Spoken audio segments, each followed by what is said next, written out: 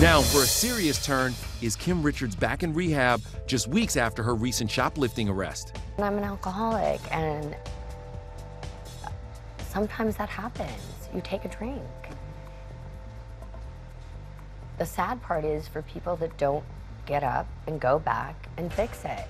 Here's what we know. Sources tell ET that she is not in LA and is getting the help and support she needs and wants. Her ex husband, Monty Brinson, posted this flashback pic on Instagram, voicing support for his ex and said, Personally, I have not seen her, but we speak every day. I love sobriety, mm-hmm.